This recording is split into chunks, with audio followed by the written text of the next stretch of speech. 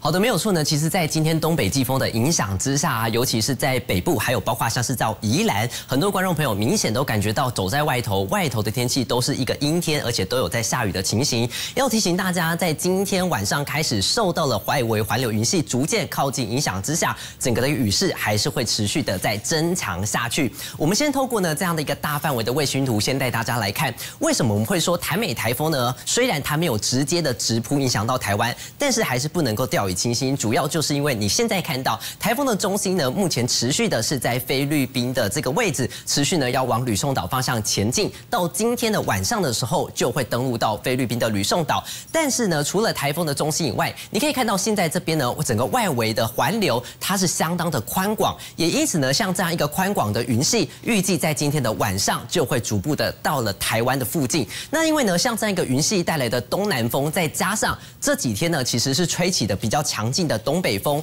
这两股风的结合之下，恐怕呢就会在这个包括北部以及包括基隆北海岸还有宜兰是会出现这所谓的共伴效应。那如果一旦呢出现像这样的一个共伴效应的情况之下，包括了像是在基隆北海岸还有宜兰要特别留意，都是会有比较剧烈的强降雨，而且这样的雨是会持续下下去的。那我们要提醒大家的就是这个路径呢，接下来它影响台湾的时间点又会是如何？我们进一步带大家来看，从影响时序当中，大家可以看到，目前呢，现在台风的位置它是在这个地方，持续的在今天的晚上就会登陆到菲律宾的吕宋岛，尤其在明天的清晨大概五点的时候，将会是整个台美台风距离台湾最近的时间点。当它呢来到这边的时候，它的外围环流云系就会逐步的开始都是影响到台湾，所以我们会说礼拜四的这一整天，包括了像是在北部跟东半部，将会是影响最为剧烈的时候。随着台风呢逐渐的在慢慢走远，到了礼拜五进入到南海之后，礼拜六就会开始远离到台湾。